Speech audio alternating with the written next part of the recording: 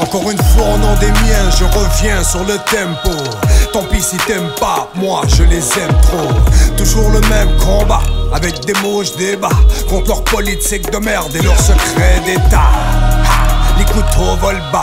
Chez moi pour mourir, les oiseaux ne se cachent pas. Non, non, y a plus d'un peuple qui crie à l'aide. Québec, Canada, sous un régime d'apartheid.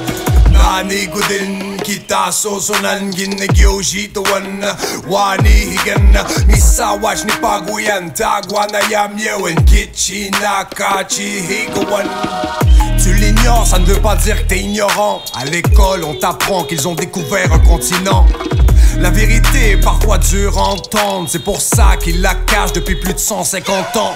J'en ai marre des mensonges, marre d'hypocrisie, j'en ai marre des taches de sang sur le drapeau de mon pays. Sous la tutelle gouvernementale, on ne vit pas dans le même monde. Des réserves indiennes, pauvres comme le tiers-monde, on parle de l'Holocauste, du Rwanda, des millions de morts au Congo. En Amérique du Nord, c'est un génocide au compte-gouttes. Nos dirigeants veulent des Indiens inscrits, car ils ont peur des Indiens instruits.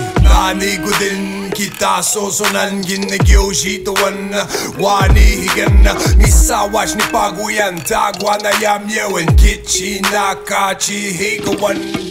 Au nom des enfants vendus et déracinés au nom des femmes disparues et assassinées, des femmes ligaturées à leur insu, un génocide bien planifié et ça continue. Enfants des Britanniques au sens de la loi, la loi sur les Indiens d'un pays sans foi ni loi. Pour eux, nous ne sommes qu'un sujet, des prisonniers politiques au nom Sa Majesté. 69 et leur putain de livre blanc. Ou plutôt comment se laver les mains avec le sang des innocents. Ils ont rêvé d'une Amérique blanche Des assassins imprimés sur leurs billets de banque. L'interdiction de parler nos langues c'est un génocide. Tuer l'Indien à l'intérieur de l'être humain c'est un génocide. Voler et vendre des enfants c'est un génocide les femmes autochtones disparues et assassinées, c'est un génocide. La Constitution canadienne est un génocide.